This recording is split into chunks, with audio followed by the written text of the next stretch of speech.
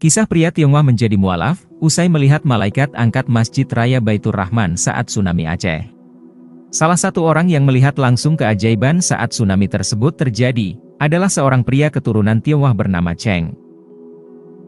Bahkan karena kejadian itu, Cheng menyatakan diri masuk Islam atau mualaf dan namanya berubah menjadi Muhammad Cheng. Cheng merupakan keturunan Tionghoa yang sudah tinggal di Aceh selama tiga generasi. Nenek moyang Cheng datang ke bagian yang sangat islami di Asia Tenggara ini untuk berdagang.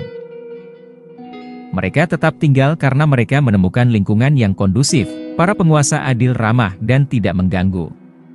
Keluarga Cheng menjaga tradisi Tiongkok kuno mereka untuk memuliakan dan menyembah leluhur, dan Cheng pun melakukan hal yang sama. Sebelum Cheng membuka tokonya, dia biasanya memberikan persembahan kepada altar nenek moyangnya. Kebetulan, toko milik Cheng sangat dekat dengan Masjid Raya Baitur Rahman. Karena posisi yang dekat itu, Cheng bisa mendengar panggilan untuk sholat atau adzan setiap hari. Hari itu, Minggu 26 Desember 2004, Cheng baru saja akan membuka tokonya di dekat Masjid Agung tersebut. Pagi itu cuaca bagus dan tidak ada yang luar biasa. Namun menurut Cheng ada yang aneh. Burung-burung berhenti bernyanyi, dan kucing yang biasanya menunggu di depan tokonya untuk sisa makanan, tidak ada di sana. Cheng tidak begitu memperhatikan keadaan tersebut. Tiba-tiba, ada suara gemuruh yang kuat dan keras dan Cheng pun lari keluar. Itu pasti gempa bumi, kata Cheng pada diri sendiri. Orang lain juga keluar dari toko mereka, namun setelah beberapa menit semua kembali ke dalam. Beberapa saat kemudian, orang-orang berlari dan berteriak air laut datang. Cheng bingung meskipun dia paham kata-kata teriakan itu, tapi dia tidak tahu apa artinya. Cheng keluar lagi dan melihat orang-orang histeris dan berlari menuju masjid sambil berteriak. Kemudian, Cheng melihat air mengalir. Ia pun segera berlari mengambil kemenyan untuk meminta bantuan leluhurnya. Namun, kondisi saat itu lebih banyak air datang mengalir di jalan dan menuju masjid. Cheng pun menjadi takut dan berlari ke atas menyaksikan tsunami dari balkon kecil. Air semakin banyak yang datang dan itu tidak bisa dipercaya. Lalu tiba-tiba Cheng melihat sesuatu yang sangat aneh, ada pria jangkung mengenakan pakaian putih. Pria jangkung itu membuat gerakan seperti polisi yang mengarahkan lalu lintas. Mereka berdiri di berbagai tempat di depan Masjid Agung dan air mengikuti arahan mereka. Air membelah beberapa meter di depan masjid dan mengalir di sisi kanan dan kiri masjid. Air terus datang dengan kekuatan penuh laut hanya mendorong jalannya ke kota dan menuju masjid. Cheng melihat semua ini dari balkon dan air semakin banyak. Cheng pun kemudian melihat kembali keanehan, di mana dia menyaksikan air tidak masuk ke dalam masjid. Lalu tiba-tiba, lebih banyak pria berpakaian putih muncul dan mereka mengangkat masjid.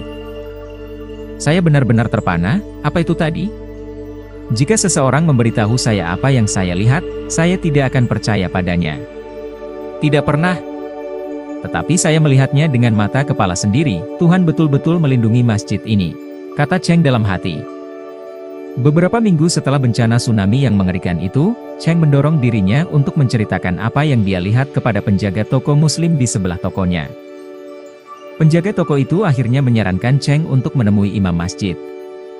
Cheng kemudian berjalan ke arah masjid dengan ragu-ragu, karena itu adalah pertama kali dalam hidupnya untuk memasuki kompleks masjid.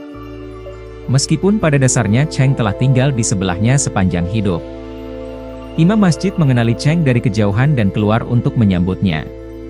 Selamat pagi, ada yang bisa saya bantu paman? Sang imam menyapa Cheng dengan sopan.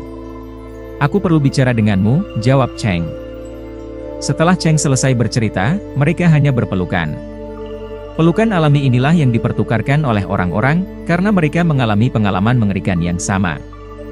Imam berkata, Paman, apa yang kamu lihat adalah malaikat Tuhan mengikuti perintahnya. Allah ingin agar masjidnya tidak akan dihancurkan oleh tsunami yang menghancurkan ini, Paman, kata sang imam. Paman, mungkin Tuhan ingin menunjukkan sesuatu kepada Anda untuk membawa Anda lebih dekat kepadanya. Karena dia mencintaimu. Karena dia melihat Anda adalah pria yang baik. Dia ingin memberi Anda kebahagiaan di dunia ini dan surga di akhirat. Pernyataan dan pertanyaan imam itu membuat Cheng tertegun. Bagaimana saya bisa menjadi muslim? Cheng kaget dengan pertanyaan imam. Hal itu sangat membingungkannya, bagaimana bisa dia seorang Tionghoa bisa menjadi Muslim. Sebagai orang Tionghoa, Cheng memiliki tradisi ritual dan kepercayaan sendiri. Tanpa menjawab pertanyaan imam itu, Cheng kemudian berterima kasih kepada imam dan pergi. Kemudian Cheng kembali ke toko dan dia menutup pintu hari itu. Cheng hanya duduk diam di sudut. Berkali-kali dia melihat di depan matanya adegan-adegan ketika tsunami melanda para pria berpakaian kain putih mengarahkan air mengangkat masjid. Cheng tidak membuka tokonya selama dua hari. Dia hanya duduk di sana dan merenung. Pada hari ketiga, ada seseorang mengetuk pintu. Dia adalah imam masjid yang mencari Cheng, yang khawatir karena melihat tokonya tutup selama tiga hari. Saya sedang berpikir imam, ujar Cheng. Saya pikir kamu benar, Tuhan memberi saya tanda, bahkan pertanda besar. Saya seharusnya tidak menjadi bodoh sekarang dan lupakan saja. Bisakah Anda memberitahu saya cara menjadi seorang muslim? Tanya Cheng. Imam itu tersenyum sambil berkata, Paman, sangat mudah, kamu hanya perlu melafalkan kata-kata ini, kata imam, sambil menunjukkan Cheng selembar kertas. Cheng melafalkan dua kalimat syahadat, asyadu la ilaha illallah.